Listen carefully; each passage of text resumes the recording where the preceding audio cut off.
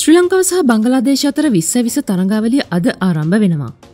පළමු තරගද ශ්‍රී ලංකා වෙලාවෙන් සවස පහිතියට බංගලාදේශය සිල්හෙට් ජාත්‍යන්තර ක්‍රීඩාංගනයේදී පැවැත්වෙන්න නියමිත වෙනවා. තරඟාවලිය ආරම්භ වෙන්නත් කලින් බංගලාදේශ පුහුණුකරු චන්දික හතුරු සිංහ බංගලාදේශ කණ්ඩායම ගැන අවතක්සේරුවන් අදහස් දැක්වීම නිසා මේ ගැන බංගලාදේශ කණ්ඩායම වගේම ක්‍රිකට ආයතනය ඉන්නෙත් ඒ තරම් හිත හොඳින් නෙවෙයි. මේ තරඟාවලිට ආබාධ තත්ත්වයක් නිසා බංගලදේශ විස්ස විස කණ්ඩායමේ නායක සහ පාර්ලිමේන්තු මන්ත්‍රී ශකිබ් අල් හසන් සහභාගි වෙන්නේ නෑ. ඒ වගේම ඇෆ්ගනිස්ථාන එක්ක තරඟාවලිදි විනිසුරු තීරණ විවේචන කිරීම නිසා ශ්‍රී ලංකා කණ්ඩායමේ නායක වනිදු හසරංගටත් මුල් තරඟ දෙක තහනම් වුණා. මේ තරඟාවලිය බංගලාදේශ කණ්ඩායමේ නායකත්වය දරන්නේ නජිමුල් හොසෙන් සැන්ටෝ විසින්. තරගයට කලින් මාධ්‍යට අදහස් දක්වපු චන්ටෝ කිව්වේ කණ්ඩායමක් විදිහට බංගලාදේශ ඉතාම ප්‍රබල ස්ථානයක ඉන්නවා කියලා.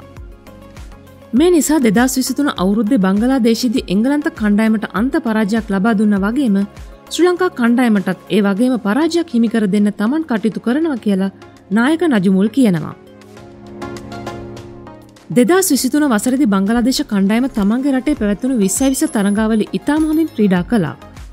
ලෝක ශූර එංගලන්තය තරඟ තුනට බිඳුවක් විදිට පරාජ්‍ය කලා වගේම අයර්ලන්තය සහ ඇෆ්ගනිස්ථානු කණ්ඩායමත් පරාජය කරන්න සමත් වුණා.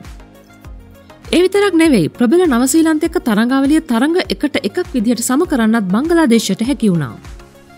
ඒ නිසා නායකත්වය වෙනසක් වුණත් බංගලාදේශය මේ තරඟාවලේදී ශ්‍රී ලංකාවට එරෙහිව තමන්ගේ උපරිම ශක්තිය පාවිච්චි කරාවි කියන එක නම් පැහැදිලි. බංගලදේශ කණ්ඩායමට තාමත් ශ්‍රී ලංකාවට එරෙහිව විස්ස විස තරඟාවලියක් ජයග්‍රහණය කරන්න අවස්ථාව ලැබිල නෑ.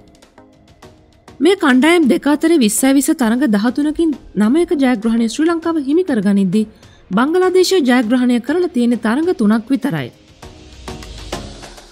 මේ තරගවලදි ආබාධ තත්ත්වයන් නිසා ශ්‍රී ලංකා කණ්ඩායමේ මුල් පෙළ පිතිකරුවන් විදිහට ක්‍රීඩා කරන පැතුම් නිස්සංක වගේම කුසල් ජනිත් පෙරේරා ක්‍රීඩා කරන්නේ නැහැ.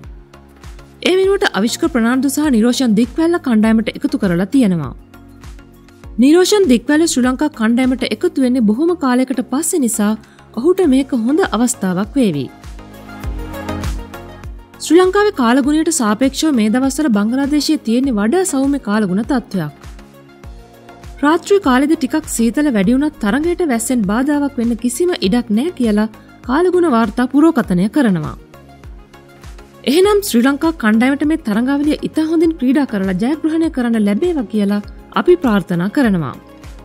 පිටිය මේ වගේම නැවුම්සා වැදගත්තුරතුරු දැනගන්න ස්පෝර්ට්සිත් තිමශි චනල් එක සබස්ක්‍රයිබ් කරලා තියාගන්න.